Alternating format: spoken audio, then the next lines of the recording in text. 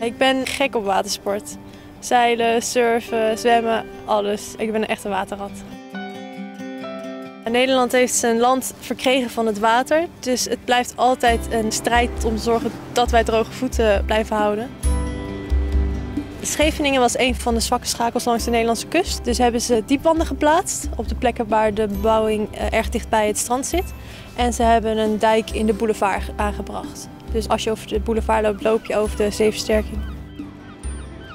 Ik zag later weer plaatjes van hoe het vroeger was. Ik herkende het niet meer. Het is er gewoon heel veel beter op geworden.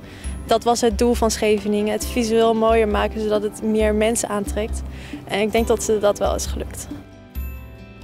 Nederlanders zijn de waterbouwers van de wereld. We hebben genoeg kennis in huis om de oplossing te zijn tegen het stijgende water.